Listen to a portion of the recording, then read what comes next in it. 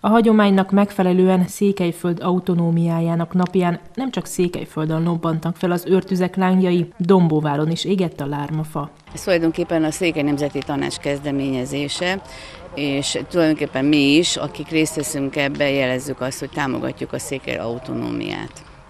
Ez a lényege, a lármafa az tulajdonképpen régen ilyen ezzel üzentek, tüzekkel üzentek egymásnak az emberek, és tulajdonképpen ez is most egy üzenet, hogy mi innen Dombóváról a székely testvéreinkkel együtt vagyunk. Már régóta csatlakoztunk, régóta részt vettünk több különböző helyszínen, most ez nekünk a, a, a bevált helyszín, csak ugye tavaly-tavaly előtt nem tudtuk megtartani, úgyhogy idén újra fölélesztettük ezt a szép hagyományt, és nagy örömmel jöttünk. Van egy kis sütik, egy kis pálinka, egy kis borocska, tudunk beszélgetni, elénekeltük a székely himnuszt, és így tulajdonképpen mi is részesei vagyunk ennek a nemzeti összetartozást erősítő rendezvénynek. Ez adta magát, mert ez olyan helyszín, ahol a tűzoltóság is engedélyező tüzet rakjunk, a másik, hogy itt tulajdonképpen ez a város szélen, ez egy nagyon szép hely, és nekünk nagyon jó itt a Gólyavárnál. Könnyen megközelíthető. A Dombóvári és környékbeli településen élők jól ismerik a Székely Nemzeti Tanács 2015-ben életre hívott kezdeményezését.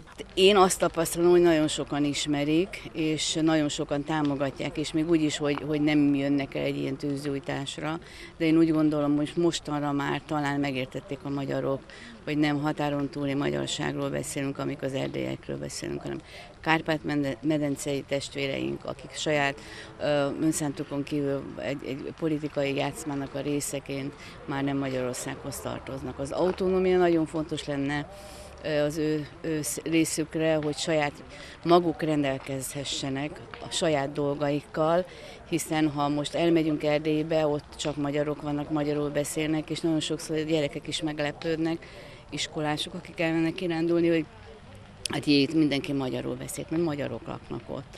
Tehát azt úgy gondolom, hogy manapság erről már nem kell túl sokat beszélni. A Dombóvári őrtűzgyújtáson a helyi székelykör tagjain kívül több civil egyesület tagja is jelen volt. Ez a kezdeményezés megmutatja, hogy Dombóváron élő székely származásúaknak is mennyire fontos, hogy a székely autonómia határokon túl és határokon belül is az őrtűzgyújtással ezzel rendkívül szépen szimbolikusan megemlékeznek erről erről a napról. Tavaly előtt megrendezésre kerülő székely őrtűzgyújtáson is részt vettem, ugye, mint a civil tanács képviselője. A hatalmas őrtűz beragyogta a Gólyavár környékét, ahol az összegyűltek mindannyian fontosnak tartják a kezdeményezést, ami országhatárokat ível át. Mivel én is székely vagyok, kézivásárhelyi születésű, ugye vérvizé nem válik, és ezért nagyon szeretném én is, hogy a hagyomány is megőrződjön, meg hogy ugye a székely testvérekkel, hogy összhangba legyünk.